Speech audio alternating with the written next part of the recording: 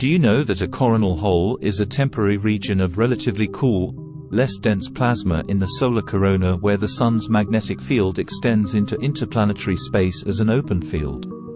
It's born from the Sun's complex magnetic field, where open field lines allow solar winds to stream away at higher speeds, creating a region of cooler, less dense plasma. Coronal holes are not static. They can develop at any time and location on the Sun but are more common and persistent during the years around solar minimum. Coronal holes are the primary sources of space weather disturbances, including aurorae.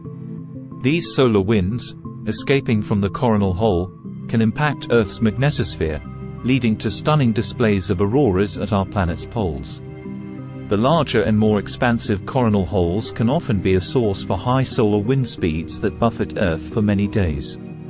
Thank you for watching Astonishing Lair.